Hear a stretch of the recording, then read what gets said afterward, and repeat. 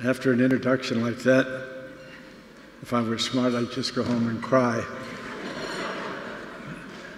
I mean, how do you thank so many people?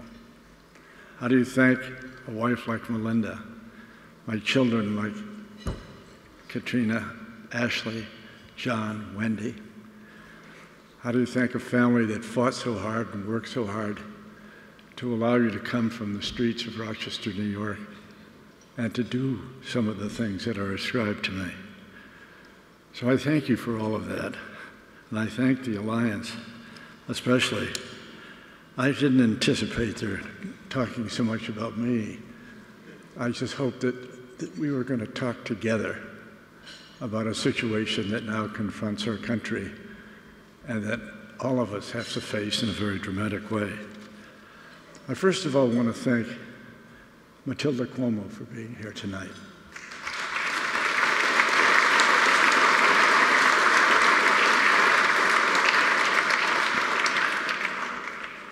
She is the guardian angel of the Four Freedoms Park. She's the one who looks down from her terrace every day and then calls me and tells me how many trees have to be shaved or what else has to be done. She is just the most wonderful person in the world, a heart filled with love and compassion. She's brought, she's helped with two men who have affected deeply the destiny of our state and of our nation. And we think of Mario and we think of Andrew tonight, and we think of the thousands of grandchildren and others that Matilda has really inspired all her life. Thank you, Matilda, for being here.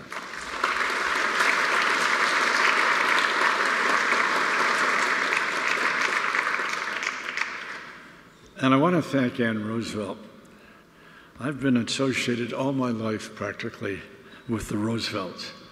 From a kid in Rochester, New York, handing out leaflets in the Willkie election to taking my mother to meet Eleanor Roosevelt and I Am an American Day, and understanding from the earliest years of my life what it meant to be an American, because my parents had been immigrants to this country and they never looked back.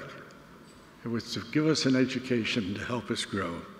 And there isn't a day in my life that I don't think of them, and in many ways think of all of you who've played such an extraordinary role in helping me in these great projects. But Ann Roosevelt, this granddaughter of Franklin and Eleanor, has carried forth their legacy and their values and has inspired and led new generations to know the meaning of the Roosevelt heritage and the four freedoms that is at its core. Thank you, Ann. Thank you for being here. And thank you for always being there for the projects we've undertaken together.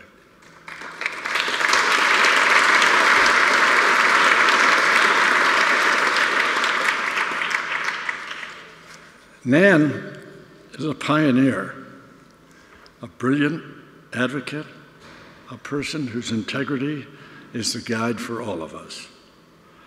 The Alliance for Justice is in large part the result of her boundless energy and her extraordinary commitment to justice and the right of all citizens to have access and confidence in our courts.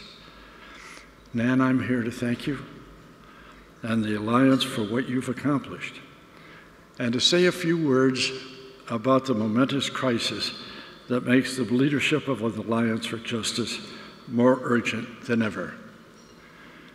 There are friends I have in the room who are Republican. A great friend like Bruce Gelb, for example. I've worked all my life with Democrats and Republicans, never faltering in my commitment to Franklin Roosevelt as the greatest president our country's had. I say that because this is a crisis, as Norm has indicated, that really requires each of us and all of us to look into our hearts and to decide again what kind of a country this is. Election night a year ago was an anguished experience for many of us. We were on the cusp of historic events. The first woman president, succeeding our first African American president, who had won two terms and was leaving that high office intact with accomplishment, with dignity, and international respect. And then the lightning and the thunder. It was over. The inexplicable vagaries of politics brought a very different result. A government which mocked experience took power. The victors rejoiced in their unexpected triumph, and in the weeks that followed, we watched as the Know Nothing movement of a century ago took over. The true shock was the completeness of our defeat. We had lost the presidency, the, both houses of the Congress, and a majority in the Supreme Court. And that, all that, that we had fought for was in jeopardy. The sinister echo of racial justice that had torn this country apart so many times was heard again. Extraordinary progress in economic growth and the creation of jobs was pushed aside as though our recovery from the Great Recession was accomplished by the very people who caused it. The American international leadership, the achievement of three generations of bipartisan support, was pushed aside as the world in disbelief watched as the Americans, as the United States, dumped our commitments into a sewer of suspicion, hostile words, insults for our friends and our allies, and hateful and foolhardy challenges to those who wish to do us harm. At the center of this earthquake was a group of men who understood that with this moment had given them, their priority above all is to seize control of the judiciary. Their intention is to build a majority that will last 30 years by making radical appointments that were already vetted and waiting in the wings. I speak of working together for three generations in our international commitments. I think of General Donovan, William J. Donovan, a great Republican, a great American, holder of every medal this country ever awarded, and how successfully he worked with President Roosevelt and with so many other people to accomplish the great purposes of the OSS.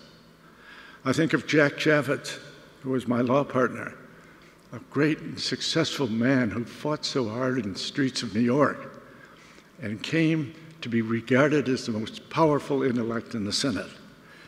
I could mention a hundred more that each of us have worked with. Today we speak to all of them as Republicans and Democrats and ask to see what we're doing. We've had time now to absorb and witness the significance of the election. The victors, unimpeded by knowledge or interest in history, are moving forward and making the judiciary. Arthur Schlesinger, a dear friend and the preeminent historian of our time, said in an earlier time of crisis history is to a nation as memory is to the individual. As persons deprived of memory become disoriented, not knowing where they've been or where they're going, so a nation lacking the conception of the past will be disabled in dealing with its present and with its future. In that context, the court reorganization proposals in 1937 by President Franklin Roosevelt are relevant the enemies of the New Deal had started thousands of litigations to stop the fulfillment of the program which the President had initiated and which the Congress had legislated and which Americans in landslide elections had approved. The court's majority, appointed by FDR's predecessors, determined to block the New Deal it proceeded to overturn legislation that the President and the Congress had enacted to solve the desperate crisis of the Great Depression. 36, FDR was elected by an overwhelming landslide, a mandate that no other president of the United States had ever had. The court then, in response, reached even further to limit the government's power by ruling unconstitutional, for example, state legislation establishing minimum wages, outlawing child labor, regulating the hours and working conditions affecting women. The court was about to decide the constitutionality of the Social Security Act. We think and reflect on the moment what the Social Security Act has meant in the last 60 years in our country. And of the Wagner Act, which was protecting the rights of labor to organize. The expectation in legal circles, following what they had done before, was that the court would rule these programs unconstitutional. It was a dramatic moment in the history of America. Would the social and economic revolution enacted by the elected representatives of the people die? Defeated not at the polls, by a, but in a court whose majority philosophy the people had soundly, soundly repudiated? Roosevelt respected the constitutional framework of balance of power and the judiciary as an independent branch of government. But he stood with Abraham Lincoln and with Theodore Roosevelt in rejecting the concept that the Constitution was a rigid, inflexible document that could prevent the government from responding to crises that threatened to destroy the nation. FDR proposed that the president be empowered to appoint a new justice for every justice who reached the age of 70 and who decided to stay on the bench as a senior justice. There was a precedent for doing that, but after bitter debate, the president's proposals relating to the Supreme Court were not adopted. But Roosevelt's challenge had forced the court to reconsider its constitutional obligations. The court proceeded, reversed its direction, upheld the Social Security Act and the Wagner Act, and even reversed the decision on legislation that had ruled unconstitutional just months before. What is the lesson of all of this for us? We must understand that the aim of those now exercising government power is to create a Supreme Court that will make progressive initiatives more difficult and, in fact, impossible for at least the next 30 years. And further, to reverse as much as possible of the post 1933 landmark efforts to build a nation reflecting liberal democracy. The struggle for constitutional integrity and the Bill of Rights is never over. Newt Gingrich, the former Republican Speaker of the House, who, by the way, is a great admirer of Franklin Roosevelt as a political leader, told the Heritage Foundation recently that the opportunity to finally defeat uh, to finally repeat Franklin Roosevelt had arrived. The time to defeat Franklin Roosevelt had arrived. We missed two prior occasions, he said, but this time we have the power and the complete power, and we're going to use it. How secure are the historic rulings in the areas of civil rights, civil justice, racial justice, women's liberation, labor's rights? What will contain their constant assault on the First Amendment, on the fundamental principle of separation of church and state, on civilian control of the military? All basic and fundamental problems that reach to the beginning of our country, but who hold the essence of what we mean as a nation. We are reminded that Roosevelt's battle that the Supreme Court is a supremely undemocratic institution. It is appointed, not elected, for life terms. Neither the court nor its members are accountable to anybody. And at the very least, this should oblige an attitude of restraint through self restraint. Abraham Lincoln defined our constitutional dilemma in his first inaugural address.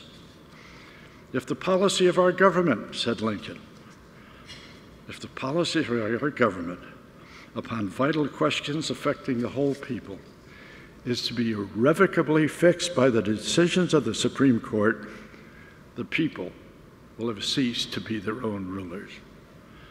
We know what is happening now. Frustrated by the unprecedented failure of their own party to prevail in Congress, concerned by the historic lows of President's popular approval, the administration has chosen the courts to be the place to exercise their plenary power, and in the process, reveal their threatening vision of America. It is the obligation of both parties to honor the constitutional integrity of the courts, to recognize the historic obligation to foster the unity of our nation, to command respect for the court's authority by demanding judicial nominees whose fairness, experience, and commitment to a well ordered society are beyond question. Integrity and character are the basic qualities to be sought in judicial candidates. We look to men and women who understand that at the moment of their oath, they are transformed into a special role, that they have become guardians of democracy, and their partisanship must be left behind. They are no longer trumpets of their own opinions, but must be respectful of history, open minded to argument and opinion, incorruptible in the exercise of their power. Perfection is not our expectation but respect for the hopes and aspirations of all our people is our demand. The Alliance for Progress has a critical role to play in this forthcoming debate, in this titanic struggle that is now underway. Politically, we are at a powerful disadvantage because the elections in New Jersey and countless elections for state and local positions across the country have happily begun to transform the battlefield. And when a million women marched on Washington, we remembered what a democracy aroused can do. Americans motivated and united can change the world. The swamp of money has to be drained. Its toxic influence on our institutions corrupts our democracy. And the day will come, I am certain, when another president takes that office, and Citizens United will be a bad memory, and the brilliant dissent of Paul Stevens will prevail.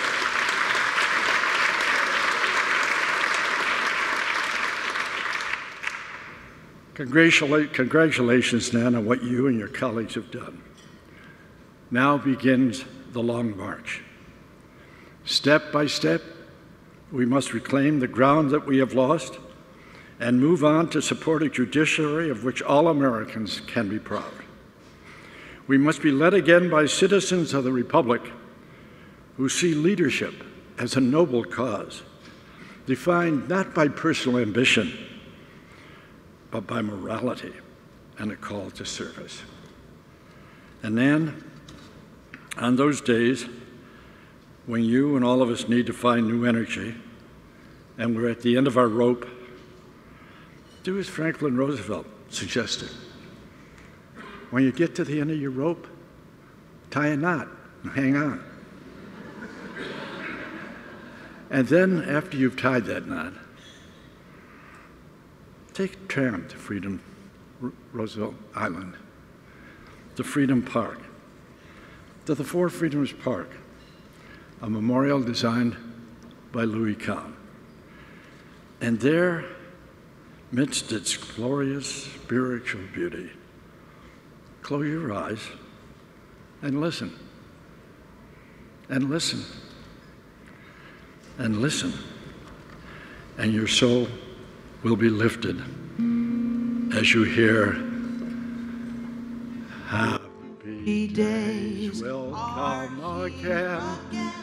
The heart of come will fall again we will sing a song of cheer again. Happy days will come again.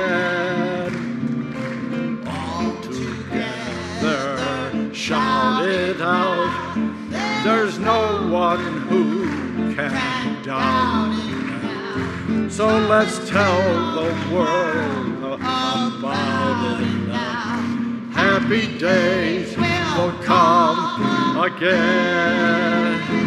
Your cares and troubles are gone. There will be no more from now on. Here again. The skies above will fill you again. We will sing a song of cheer again. Happy days will come again.